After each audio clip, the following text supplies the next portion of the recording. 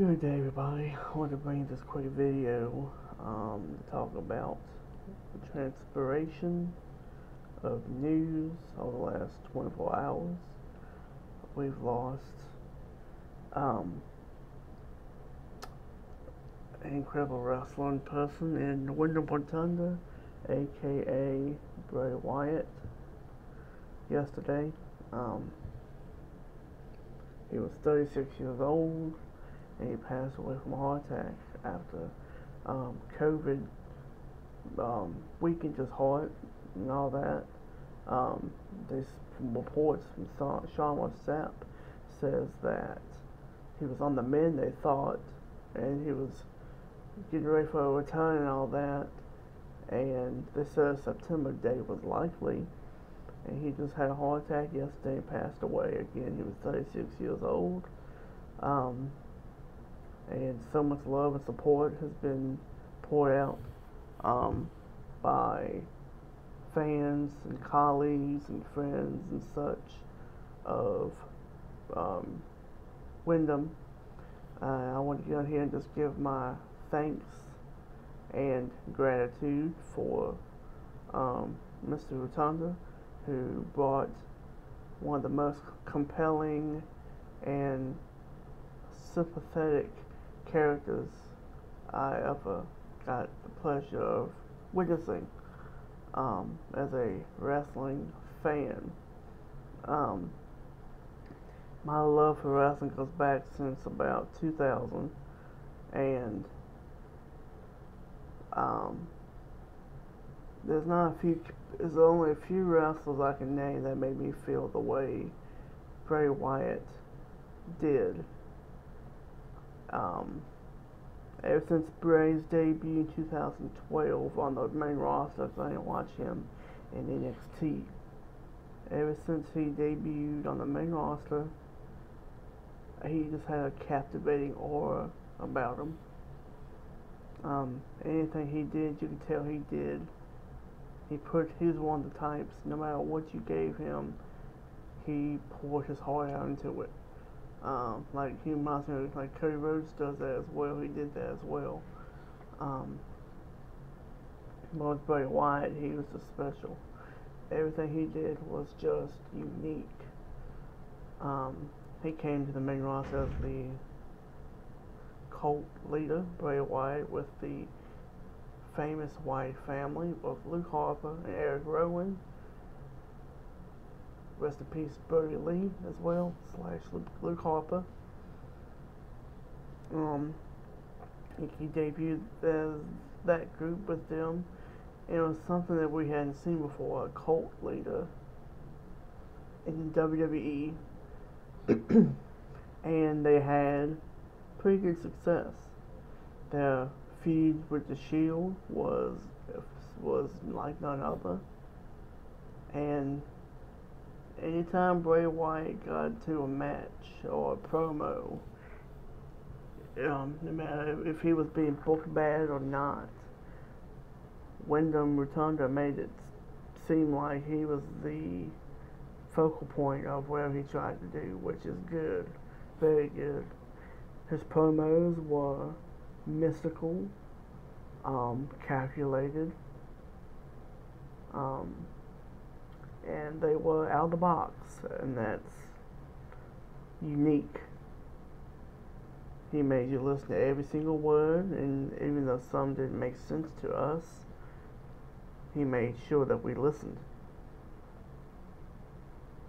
Um, but the Coley Bray Wyatt was the tenure of his career in WWE.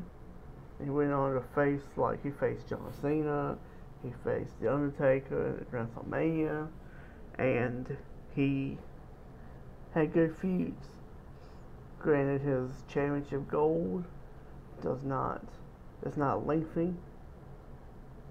His impact on the wrestling sport is synonymous, and it's very prevalent. Um, but he ended up being he ended up reinventing himself, becoming the Fiend which was something unprecedented at the time, which is he essentially played two characters in one persona. He was what they call Mr. Rogers, the Firefly Funhouse, Bray Wyatt.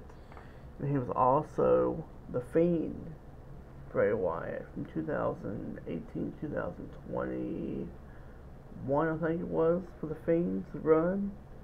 Um, the Fiend was like nothing that we had ever seen. Everything they did for the Fiend was spectacular. Aside aside from the Seth Rollins Hell in a Cell match, um, and he got beat by Goldberg.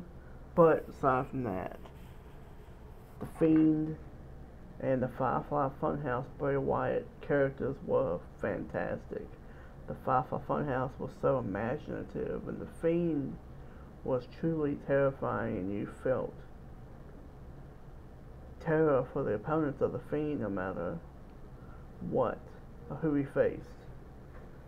But the Fiend was just eerie, captivating, and um, it was just fantastic to see and watch.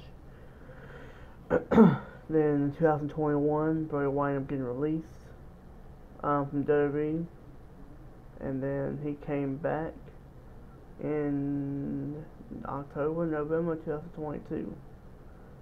Well, I believe it's 22. Um, dates are not my favorite thing to remember sometimes. I can't remember some dates. But he came back at Extreme Rules, I think, no. He came back at Survivor Series, I believe it was. Sorry. Anyway, he came back, so it matters. And that synonymous entrance with the door and stuff the pop he got was just fantastic. And then his only feud, his last feud, sadly, was with LA Knight.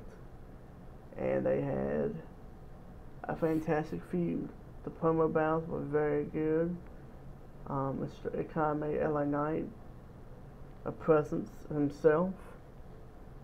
And then it led to the Royal Rumble um, pitch black dark match, I think pitch black match, which was a gimmick match for Mountain Dew, which we saw them wrestle in neon in a no DQ match in neon lights.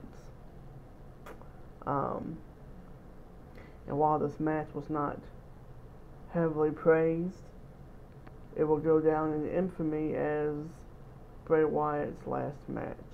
Um, Unfortunately, this will be the last match that Bray Wyatt ever had on television. I believe he had a dark segment one time, shortly after that, where him and Uncle Howdy, which was his real life brother Bo Dallas, they took out Hit Row, I believe. So, LA Knight was his last pay per view televised match, and possibly if the Hit Row segment was after that they were the last people to fight or encounter Bray Wyatt. Um, this is a quick rundown of his history. And it's a pretty long history. Um, he's just, he's made such an impact in the wrestling community with his creativity, his uh, psych- in-ring psychology, his method to his, his um, method to his madness type of thing. He was just fantastic to watch and listen to, and he was such, he was so much fun to keep up with, to try and decipher, especially the um, QR codes and all that was just different. Um, and yeah, Bray Wyatt will be missed. Um, Windham Rotunda will be desperately missed. And I just, um, I'm shocked. I'm sad by the news. Um, we lost Terry Funk as well. The um, day before yesterday, as, uh, as of as of this posting, day before yesterday, and that was tragic as well because Terry Funk was a legend um, in his own right. Um, do not want to forget. Uh, the Terry, Terry Funk family, but Bray Wyatt's a death. When Windham Rotunda's a death that impacts me and everybody watching because he was active in wrestling. He was, we were eagerly awaiting his return. They said leak temporary. It could have been September tentatively, and now we don't have that. We have to mourn his passing instead of excitedly await his return. It's sad. Um, but um, people have been talking about sharing pictures of him, him and Brodie Lee together in heaven. Statements like that that gives me a lot of solace and gives me a lot of comfort. Cause I know Brodie's death rocked him hard, very much, very much so. Um, so it's good that they're reunited again. But um, I just want to I just pray for Windham Rotunda's family, the friends, the um, Eric Rowan and Braun Strowman, um, wife, family members. Only two of them are left, and it's wild to think about that because all four of them were relatively young, and now only two of them are alive. It's it's wild.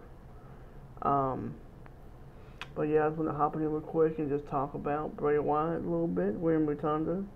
Um, just share my condolences and post and grieve with the wrestling community because we lost a fantastic human being and a fantastic performer, and there will never be another one like him, unfortunately.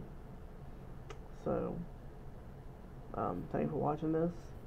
Feel free to leave your Bray Wyatt comments below. And I'll talk to you guys soon.